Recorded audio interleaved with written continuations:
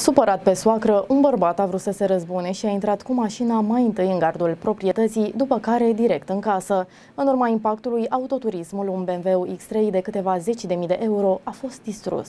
Conform spynews.ro, primele informații arată că șoferul a făcut totul din răzbunare. Acesta s-a urcat beat la volan, iar rezultatul aparatului etilotest este de-a dreptul șocant. La scurt timp după ce au intervenit oamenii legii la fața locului, a fost transportat la spital, iar apoi reținut pentru 24 de ore. Mașina acestuia în valoare de 10.000 de euro a fost distrusă în urma impactului. Totul s-a întâmplat în localitatea Remetea Mare din Timiș, ieri seară în jurul orei 22, potrivit observatornews.ro. Oamenii legii au fost sesizați și au intervenit de urgență la fața locului. Bărbatul a fost testat cu aparatul etilotest, iar rezultatul a fost de 1,22 de miligrame pe litru alcool pur în aerul expirat. De asemenea, acesta avea și permisul suspendat. După ce s-a constatat că se urcase beată la volan, bărbatul de 41 de ani a fost transportat la spital pentru prelevarea de monstre biologice. Oamenii legii se ocupă de cercetarea cazului, iar pe numele șoferului a fost deschis un dosar penal pentru săvârșirea infracțiunilor de conducere a unui autoturism cu permisul de conducere suspendat, distrugere, violare de domiciliu și conducerea unui autovehicul sub influența alcoolului. Bărbatul a fost reținut pentru 24 de ore în cadrul Centrului de Reținere și Arestare Preventivă din IPJ Timiș.